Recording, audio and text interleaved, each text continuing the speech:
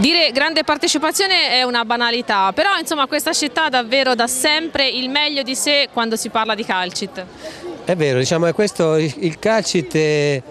è, è l'associazione che unisce la, la, città, tutti ci sentiamo appartenenti a questa associazione e ovviamente ora siamo qui a passeggiare con il dottor Bracarda e si sottolinea, si sottolinea diciamo, questa cosa che non è facilmente riscontrabile in, altre, in altri posti. Ecco. No, no, per voi sarà banale ma per me è veramente impressionante il calore e la partecipazione che, che ha questa città verso il Calcit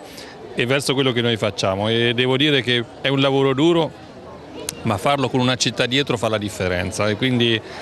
io credo di aver fatto tante cose ma le ho fatte con eh, sincerità e con impegno proprio perché si vede il risultato in termini di partecipazione, di ehm, voglia di fare veramente la qualità che è quello che cerchiamo di fare tutti i giorni. I risultati ci sono insomma anche in termini economici perché il, calcio, il contributo del Calcit all'azienda sanitaria è stato importante dal punto di vista eh, dei, anche dell'acquisto dei macchinari e del servizio scudo che comunque lavora su un altro fronte altrettanto importante. Non è soltanto però la pet tac, non è soltanto la robotica, non è soltanto lo scuro, perché poi il Calcit distribuisce rivoli di risorse che servono a portare qualità in, praticamente in quasi tutti i reparti dell'ospedale.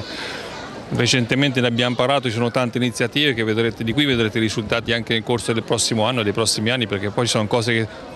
sono quotidianamente visibili, altre che sono partite da poco ed altre. Se io dovessi dire che cosa si potrebbe fare senza il calcit, la mia risposta sarebbe veramente poco, perché sapete benissimo che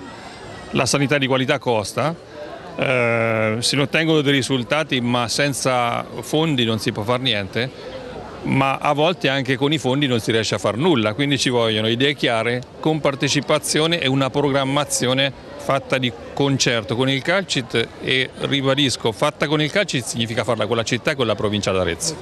Come sempre la voce del Calcit il nostro Carlo Benucci, oggi il microfono ce l'ho io, l'intervistato sei te, quindi siamo eh, ruoli eh, ribaltati, eh, sta andando molto bene Carlo veramente sta andando alla grande particolarmente questo, questo gazebo dove c'è la pesca gigante. La facciamo con tutti i regali dati da tutte queste ditte che magari eh, le menzioniamo via via che consegniamo i regali però praticamente non figurano qui in piazza però tutta la città è mobilitata. In questa giornata ma poi un po' tutto l'anno perché vediamo le manifestazioni non si riducono soltanto al mercatino ma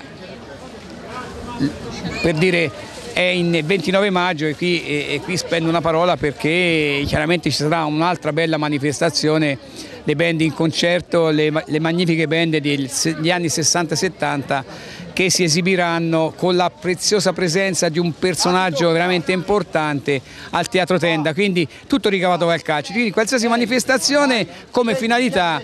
ha un qualcosa rivolta al Calcite, che poi Calcite è Arezzo, Calcite è la nostra città, Calcite è quello che ha fatto in 36 anni e quello che sta facendo ora, considerato che il servizio scudo, acronimo di cure domiciliari ai malati oncologici, costa al Calcite 280 mila euro l'anno e quindi in, in, ogni modo, in ogni maniera gli aretini sono sensibili perché il servizio scudo è un servizio efficace, efficiente e veramente il fiore all'occhiello della nostra città.